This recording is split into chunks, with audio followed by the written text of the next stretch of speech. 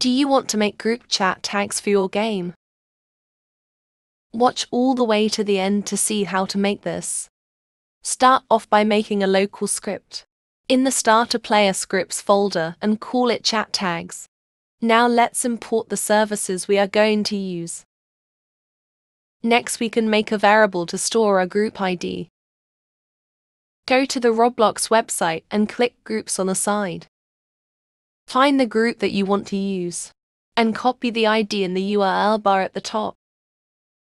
Paste it in using Ctrl plus V or Command plus V. Now let's connect the on incoming message event from text chat service to a function. Create the variable to store your new message properties. Now we are going to set variables for the player and role. Now let's add the tag to the prefix text of our properties.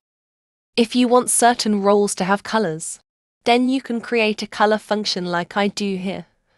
Make sure to use an RGB color code I'll link a website in the description for you to find these color codes.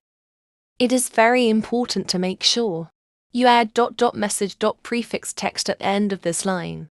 It's time to test our chat tags out. As you can see when we send a message, our chat tag is displayed next to our name. If you found this video helpful please leave a like and have a great rest of your day everyone.